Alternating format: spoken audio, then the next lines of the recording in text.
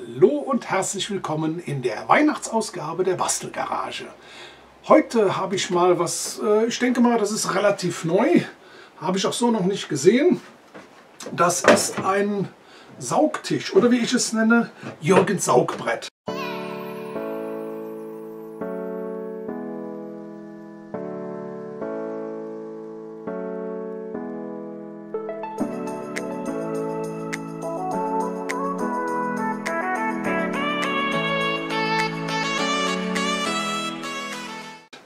Zwar arbeiten wir doch immer viel mit Schraubzwingen.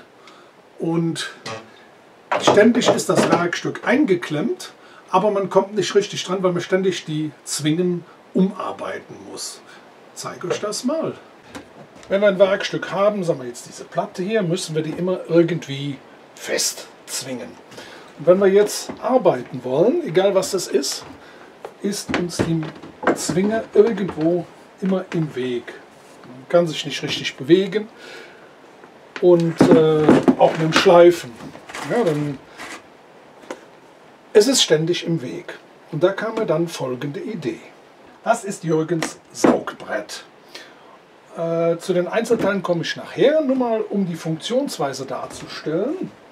Und zwar habe ich jetzt hier ein normales Brett. Das lege ich hier drauf. Die Platte hat hier oben zwei Öffnungen. Und äh, an der Seite ist ein Staubsauger angeschlossen, der halt innen drin die Luft ansaugt. Jetzt lege ich das Brett da drauf, ist lose, passiert gar nichts. Sobald ich den Staubsauger anmache, wird dieses Brett angesaugt und man kann das Ganze bearbeiten, ohne dass irgendeine störende Zwinge drumherum ist. Ich zeige es euch mal, ich mache mal die ganze Geschichte an.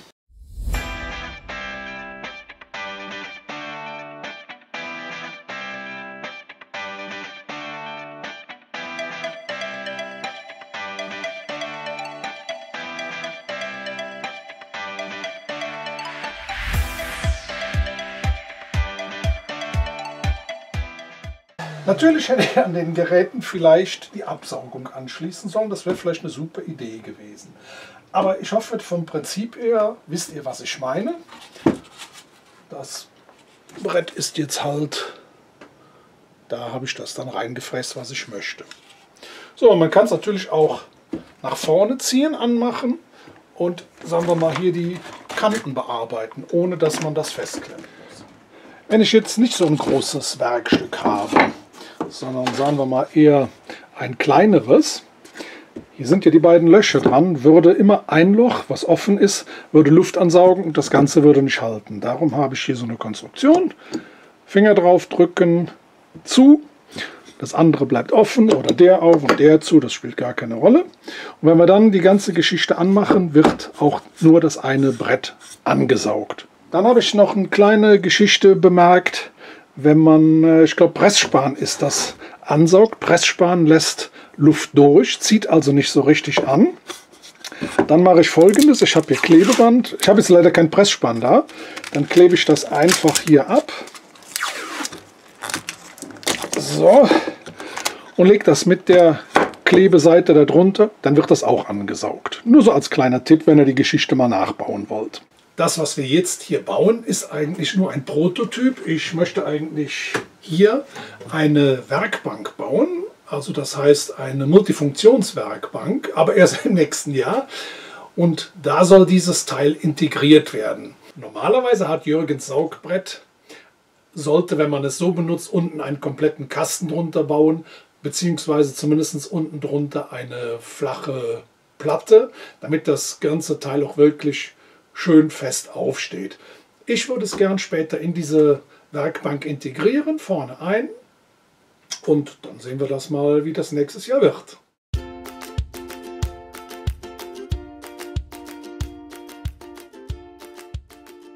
So, als erstes habe ich mir zwei Brettchen 10 x 10 cm und 9 mm dick geschnitten und zwar wird wahrscheinlich auch nicht jeder kennen. Das ist eine sogenannte Ablaufgarnitur, eine Druckknopf-Ablaufgarnitur.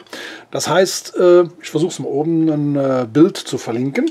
Das kommt ins Waschbecken rein. Normalerweise ist oben am Waschbeckenrand ist so ein Hebel, mit dem man dieses Teil hier unten, was im Waschbecken drin ist, rauf und runter bewegen kann. Das gibt es auch als Druckknopf. Das bedeutet, wenn man drauf drückt, ist es zu. Wenn man drauf drückt, wieder ist es, geht es offen. Das muss ich jetzt in dieses Brettchen reinbauen. Und äh, dazu muss ich allerdings dann auch, hier unten ist eine Verschraubung. Die lässt sich aber nur bis hier auf diese zweieinhalb Zentimeter Abstand zuschrauben. Ich habe das jetzt schon mal hier bei dem anderen gemacht. Da habe ich einfach hier unten diesen Schraubring, den habe ich einfach an der Flex gekürzt, damit ich das Ganze hochdrehen kann. Und zwar geht es hier darum, dass hier dieses Loch, das ist eigentlich der Überlauf. Wenn es im Waschbecken über den Rand hinüberläuft, ist das ein Überlauf. Und da müssen wir wegen der Dichtigkeit, damit später die Luft nicht entweichen kann, drüber kommen mit dem ganzen mit der ganzen Verschraubung. Ja, das heißt also, deshalb auch diese 9 mm. Das Brett muss im Prinzip hier zwischen und hier dieses Loch darf eigentlich gar nicht zum Einsatz kommen. Das muss zu werden. Aber jetzt schneiden wir erstmal die passenden Löcher in dieses Holz ran. An der Standbohrmaschine geht es weiter und zwar habe ich dann die Ecken miteinander verbunden, dass wir die Mitte rausfinden. Habe den, meinen Kreisschneider auf das Maß dieses Ablaufs gemacht und bohre jetzt da lustig Löcher rein.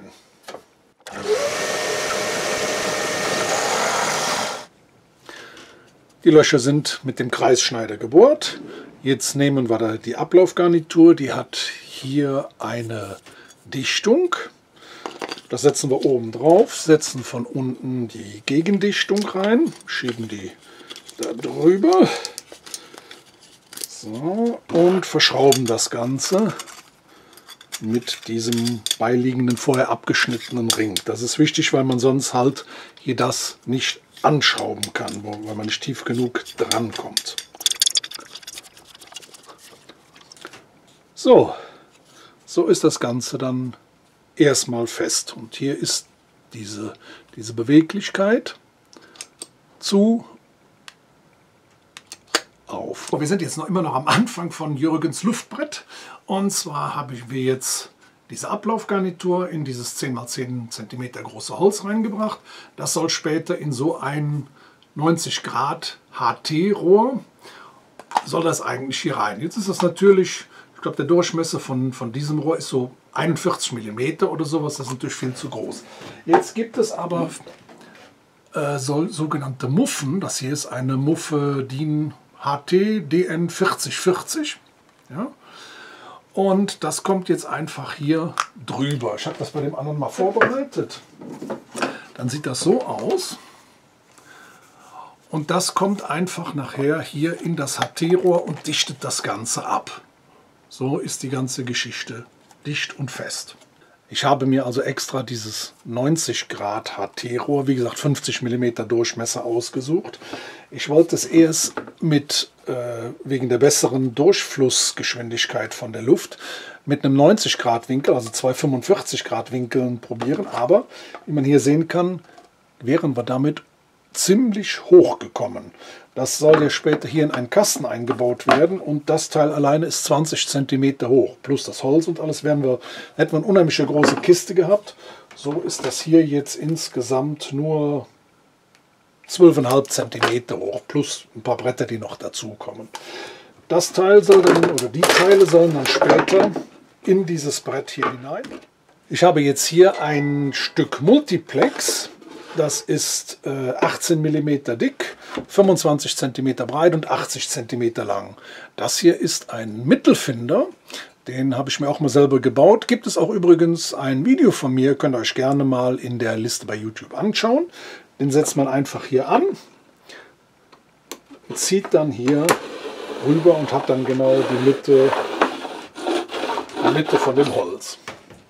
Ich hoffe, man kann den Strich sehen weil wir jetzt diese Teile in die Mitte, einer rechts, einer links, soll das hier drauf verteilt werden, wo später die Luft angesaugt wird. Wir müssen natürlich eine bestimmte Tiefe einhalten und aus diesem Grund kann man eigentlich diesen Verschlussdeckel einfach abschrauben. Das Teil muss eigentlich vertieft werden. Deshalb habe ich jetzt hier ein Brett ausgeschnitten, das genau da drauf passt. Das werde ich aber jetzt hier noch mit der Oberfräse etwas anschrägen. Dann sieht es einfach schöner aus. So, dann leimen wir das jetzt mal aufeinander.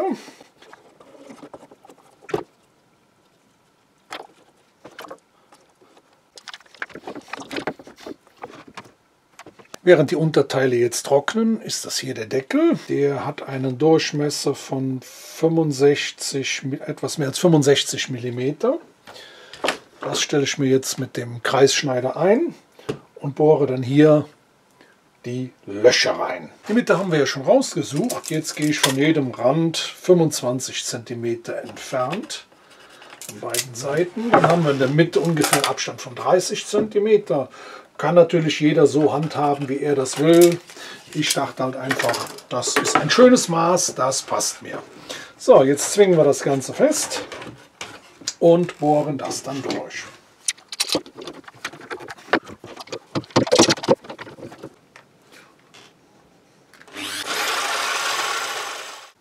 Jetzt brechen wir noch hier schön die Kanten. Dafür habe ich wieder den Fräser hier.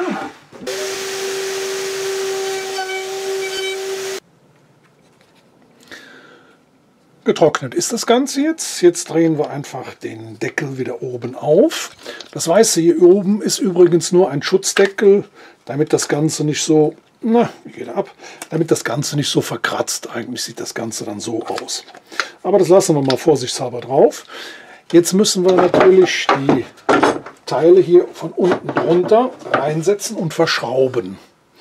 Und damit die möglichst zentral sind, halte ich hier unten einen Winkel dran. So, und richte die dementsprechend aus. Mache sie kurz mit Schraubzwingen fest und bohre das Ganze dann von unten fest. So ist die Ablaufgarnitur mittig schon mal verklemmt. Und jetzt drehen wir das Ganze rum und schrauben das mal an der Rückseite fest.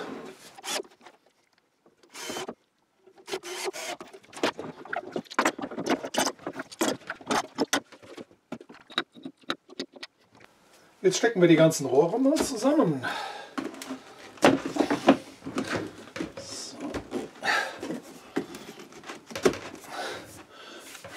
So, das gibt jetzt die Absaugung. Hier oben drauf sind die Löcher und hier unten die Absaugung. Für das Endstück habe ich noch ein Verjüngungsteil. Das ist jetzt ein 50er Rohr. Und das ist jetzt ein 50 äh, auf 40 mm Rohr, damit der Staubsauger da besser reinpassen sollte. Also das kann man optional da reinbasteln. Um jetzt eine optimale Standfestigkeit zu bekommen, kommen am, ja, an den beiden Enden jeweils solche Bretter dran, die ich dann hier auf der Rückseite jetzt mal anzeichne. Hier muss das Rohr durch. So. Da das Rohr hier eine Verdickung hat, messen wir das mal kurz nach. Das sind 54 mm und deshalb schneiden wir jetzt hier ein 54 mm großes Loch rein. Schönes Löchelchen, da passt jetzt das genau rein. Das drücken wir noch ein bisschen da rein. So, damit das hier auch glatt abschließt. Stecken das hier wieder rein. Und jetzt werde ich von der anderen Seite, erst werde ich noch die andere Seite schneiden, ein Loch einschneiden, damit auch genau dasselbe passiert. Und dann von der Oberseite wird, wird das einfach äh, von der Unterseite verleimt und von der Oberseite verschraubt. An der einen Seite, an dieser hier, kommt der Staubsaugeranschluss rein, damit das, die Luft abgesaugt wird. Auf der anderen Seite hier möchte ich gerne noch einen Schieber machen, weil ich keine Ahnung habe, wenn das Brett oben drauf liegt und angesaugt wird, ob man es dann überhaupt wieder losbekommt, damit die Luft halt entweichen kann. So bauen wir jetzt hier einen kleinen Schieber auf der Innenseite ein. Diese Hölzer habe ich mir bereits zurechtgesägt.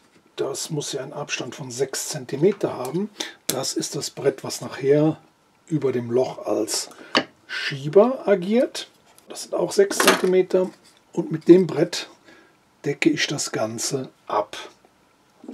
Zusätzlich habe ich mir noch hier auch an der Bandsäge so was schönes Rundes geschnitten. Das kommt zum Schluss auch hier drauf, wird dann ausgeschnitten und zwar so groß, dass hier das Rohr reinpasst, damit das Rohr eine gute Führung hat hier hinten.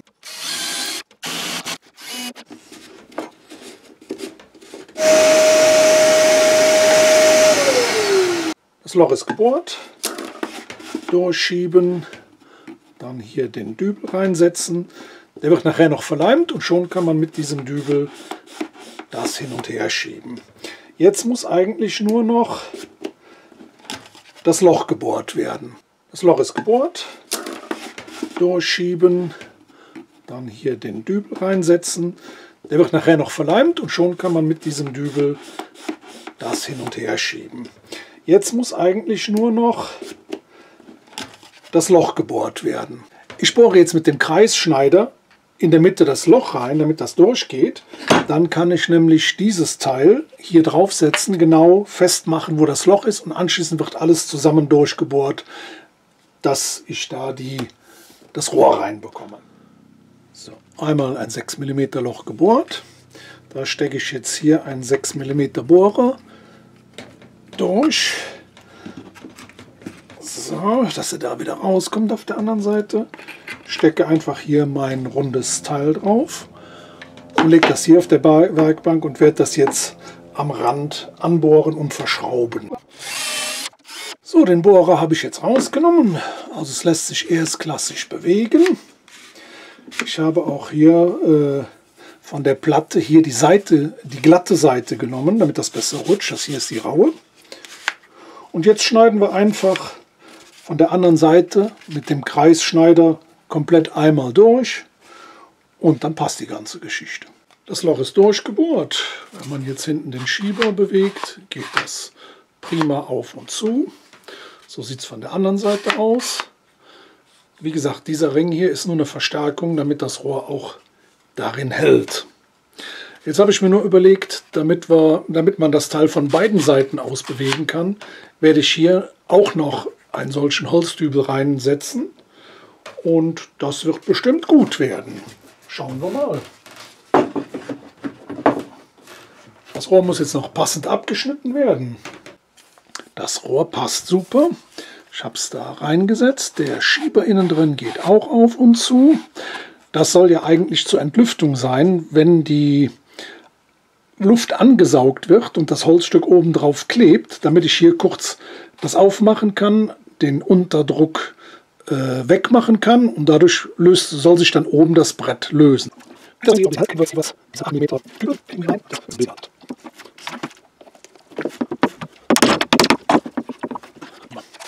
So, das kommt jetzt noch hier hin. Und wird jetzt nur noch hier auf der Rückseite verschraubt.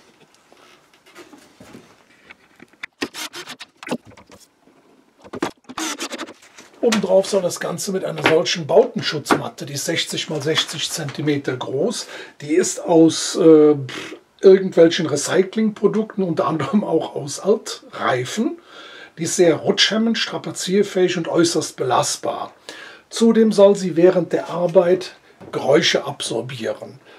Und für mich war es besonders wichtig, wenn ich irgendein Stück Holz habe, was ich zum Beispiel schleifen möchte, damit das nicht auf der Unterseite, obendrauf schleife ich und auf der unteren Seite wird es, wenn es direkt auf dem Holz liegt, wieder verkratzt. Das soll eigentlich dafür da sein, damit die Verkratzungsmöglichkeit so gering wie, wie möglich gehalten wird. Ich habe diese Matte in äh, dem Baumarkt meines Vertrauens gekauft. Das ist eigentlich eine Matte, eine Dämmschutzmatte, die kommt, wenn man auf die Waschmaschine einen Wäschetrockner stellt. Dann soll diese Matte dazwischen, das ist so eine Schallschutzmatte. Äh, wie gesagt, die 60 x 60 cm groß hat 6 oder 7 Euro gekostet. Also kaum was äh, Teures. Dafür habe ich dann ähm, diesen Hochleistungsmontagekleber gekauft. Damit wird das Ganze dann eingeschmiert, aufgeklebt und dann muss ich anschließend nur noch die Löcher ausschneiden.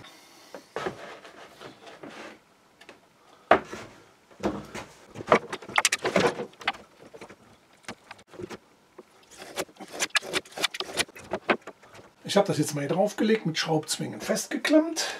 Und jetzt versuche ich mal halt hier einfach dieses Teil auszuschneiden. Ich habe mal kurz vorgeschnitten. Und ist ein bisschen mühsam, aber eigentlich machbar. Ich habe jetzt mal was ganz Tolles, das scheint eine ganz tolle Erfindung zu sein. Ich habe das im Messer grob ausgeschnitten. Dann habe ich jetzt hier an meiner Oberfräse die, den Abkantfräser reingesetzt und einfach das ganze Ding mit dem unten liegenden Ring einfach das Loch abgefahren.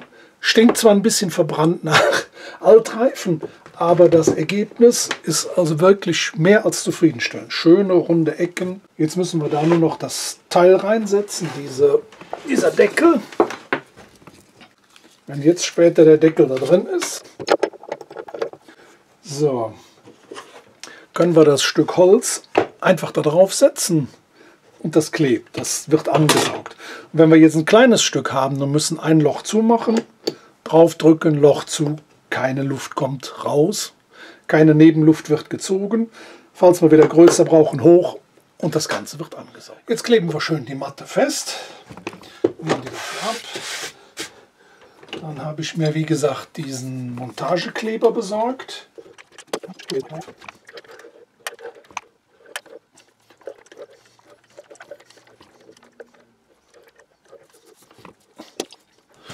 Habe ich hier eine sogenannte Zahnspachtel. Damit verteilen wir das dann gleichmäßig, damit da auch keine Unebenheiten entstehen, dass der Kleber ein bisschen, ungefähr ein bisschen gleichmäßig verteilt ist. Das heißt dann, dass später die Matte, wenn möglich, keine Unebenheit drin hat.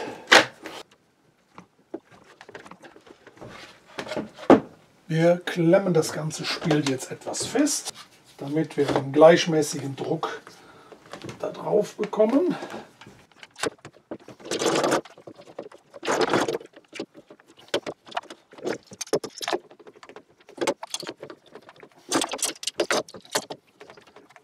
Das Ganze lassen wir jetzt über Nacht mal trocknen.